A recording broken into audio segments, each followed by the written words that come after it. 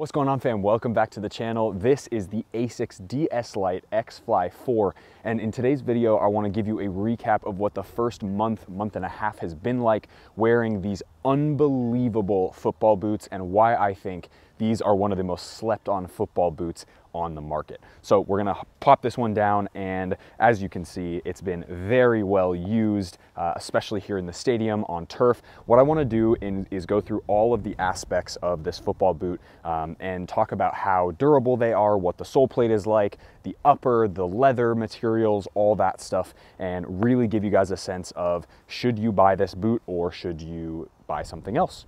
So let's start with the sole plate. So this is a very, very basic sole plate. Uh, excuse the sound in the background. Uh, very basic sole plate, mostly conical studs in this one. Um, you've got four in the back per most traditional football boots, and then you've got two, four, six, eight in the front, which is fantastic. And what they've done in these stud is in the review I mentioned that it's a conical stud but with little cutouts so it ends up looking a little bit more like a three leaf clover if you will. And what that does is it really provides an awesome amount of pivot power but also enough bite when you do lateral cuts and stuff. And I wore these in uh, a lot of my training sessions towards the end of the season at Flower City here in Rochester. And I will tell you that this sole plate has been absolutely fantastic. It gives you a really good amount of lift. And unlike, it doesn't have anything like a Carbitex insert in it, but what it does do um, is it does have a lot of durability and it does have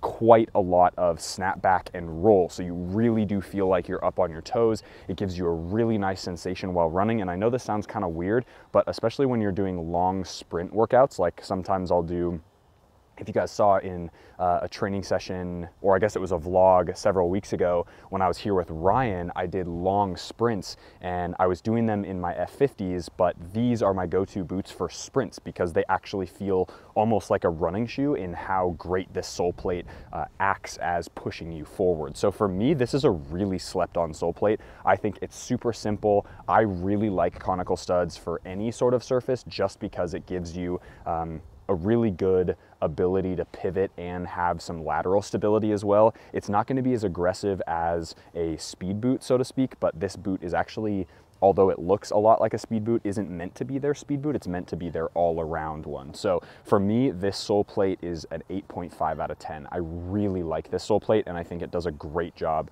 of keeping you just engaged in the ground and uh, yeah, awesome, awesome, awesome. Um, along with the sole plate, let's talk a little bit about the insole and the way that this boot feels uh, underfoot. So not the sole plate, but um, this insert and also just the way this boot feels, uh, especially on the ground. Um, this boot is one that is a really unique sensation when you first put it on. So it actually has quite a decent amount of arch support. I wouldn't say it's over the top, but it's much more noticeable than a normal pair of, well, normal pair of football boots, but most of the other football boots on the market.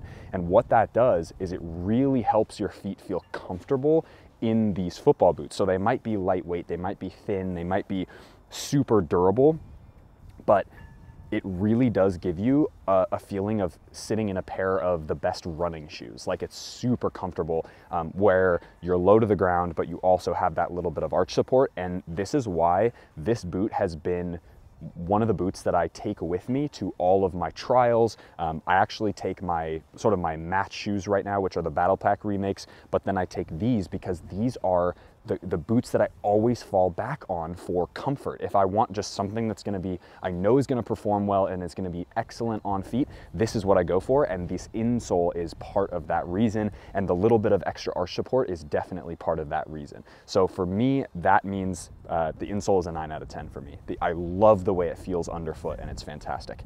Let's talk about the upper. So there's two parts to the upper. There's um, this synthetic sort of synthetic faux leather material in the midfoot and heel area. And then you've got this kangaroo, beautiful kangaroo leather in the forefoot. Um, this is a little bit stiff because I, the last time I wore these was a couple days ago. Um, so it's a little bit stiff, but it is really nice and soft out of the box. You get uh, almost a Mizuno made in Japan uh, type leather in the forefoot, I would say on par with that. Um, definitely, definitely premium, premium K leather, which is amazing. And then the synthetic material in the midfoot is fantastic. And the reason being is because number one, it's got the uh, moist tech uh, which is basically ASICS ACC technology, which means that the leather and this upper actually stays really dry when, uh, or not dry, but it kind of wicks the water away when you're on wet pitches or in wet surfaces.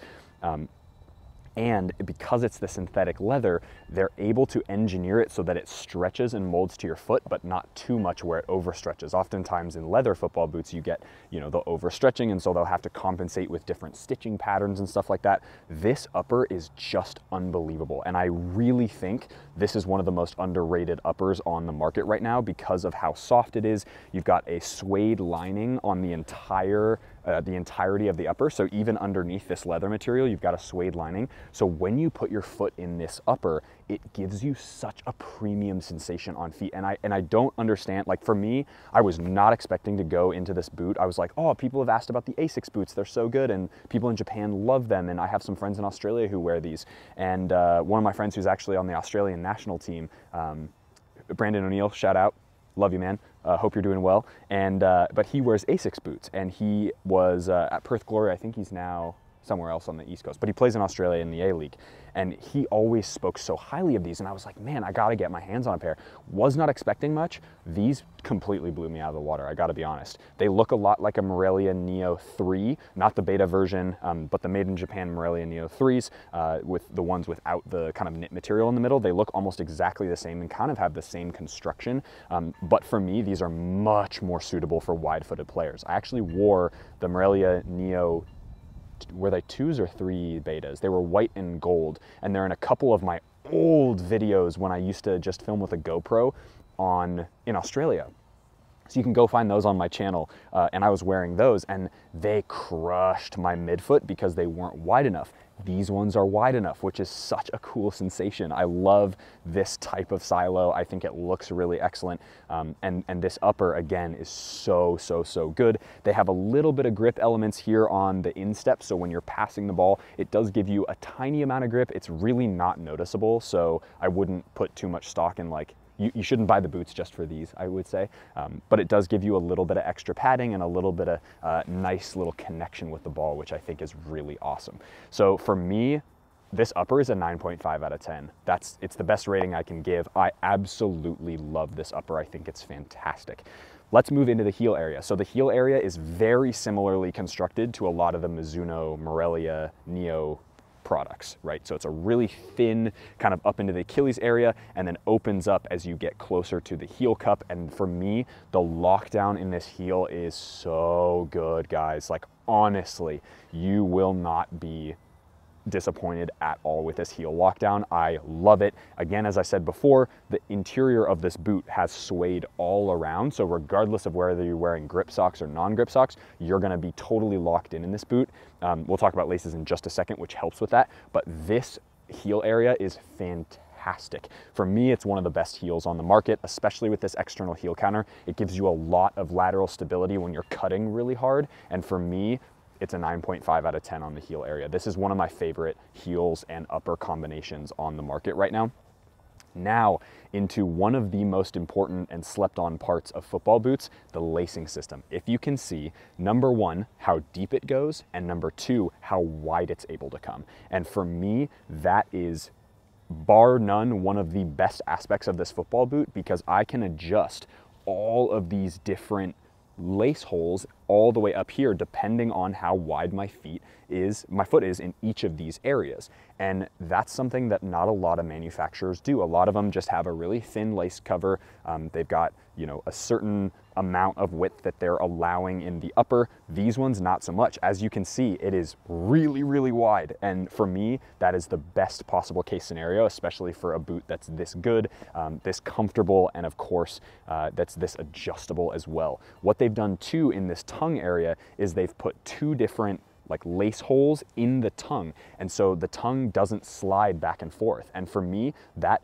tiny little bit of a design element is absolutely crucial to the performance of this lacing system. And so this lacing system for me is a 9.5 out of 10. It's so good. It's so good. I cannot tell you how much I love these football boots. Um, I am as of the filming of this video, I literally two days ago just filmed my unboxing and on feet portion of like my initial review of the DS Light X Fly Pro, which is their speed boot version of this boot. Um, they, they get sold side by side. Technically the speed boot one is like the higher tech one, um, but these are sort of marketed as like the all around lightweight, comfortable boots. And straight out of the box, I'm not actually sure which one I like better. I think they're both excellent. Um, but these ones, because I've broken them in, have such a nice feel to them. And I just cannot express to you guys how much I love these football boots. So overall performance, overall thoughts, final thoughts on this boot is it is one of the most slept on boots on the market right now. It is some, it is a boot that I would absolutely wear in games.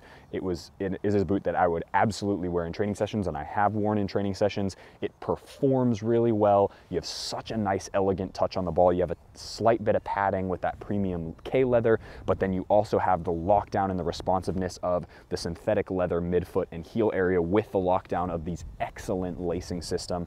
And for me, this is probably the most underrated boot of 2022 as, as far as I know right now. Um, definitely don't sleep on these. If you're in America and you want to buy a pair of these, go on eBay, type in ASICS DS Light X Fly 4 and then your size in US and it'll pop up. You can buy them straight from retailers in Japan. That's how I got my, this one and the Pro model. Um, they are excellent for me. So overall rating for the ASICS DS Light X Fly 4 is a 9.25 out of 10.